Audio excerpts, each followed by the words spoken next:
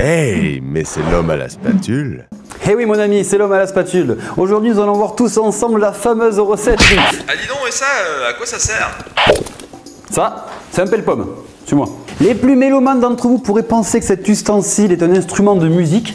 Attention, mesdames et messieurs, venez découvrir le premier salon de la Noupi. Sale Noupi, sale Et sale Noupi Ah, tu vas super loin quoi. Et non, c'est un pelle-pomme, ça sert à peler des pommes.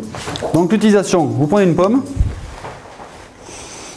vous mettez dans le bon sens, sur les pics, vous ventousez et vous y allez. On y va, on n'a pas peur, ça marche, on y croit, on sait que ça va fonctionner, on est certain de nous et ça marche de toute beauté.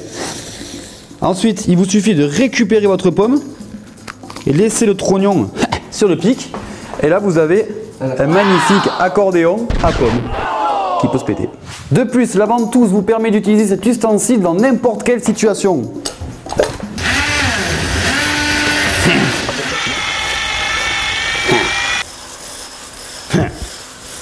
T'es lourd là.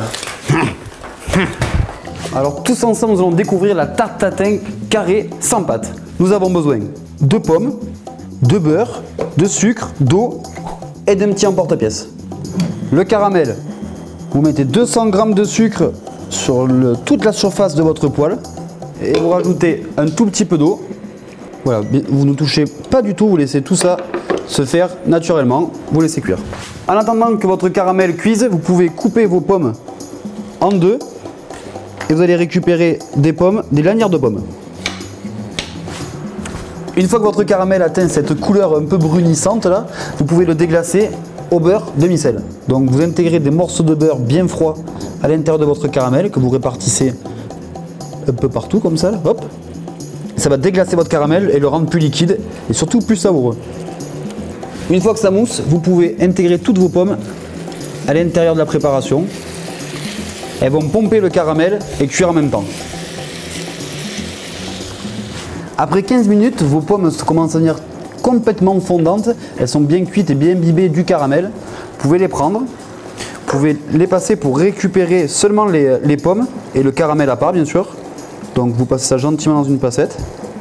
Pour obtenir votre cube de tarte tatin, il vous suffit de récupérer toutes ces pommes encore chaudes et de les dresser proprement à l'intérieur de votre moule. Ne pas hésiter à bien presser pour que les pommes prennent la totalité de l'emporte-pièce. A l'aide de votre presse, euh, on a l'appeler presse en porte-pièce, vous pressez les pommes à l'intérieur. Ensuite, une fois votre moule bien moulé, vous mettez votre récipient euh, dans le frigo pendant 10 minutes. Il n'y a aucune vanne, comme ça au moins il ne fait pas Votre tatin a refroidi. Donc je prépare l'assiette de dressage, une assiette rectangulaire, un petit carré de spéculoos, car je vais mettre une glace spéculoos par-dessus.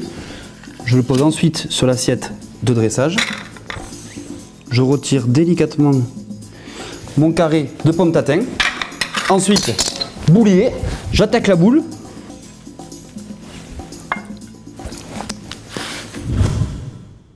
Carré tarte sans pâte avec l'homme à la spatule, la cuisine est une fête.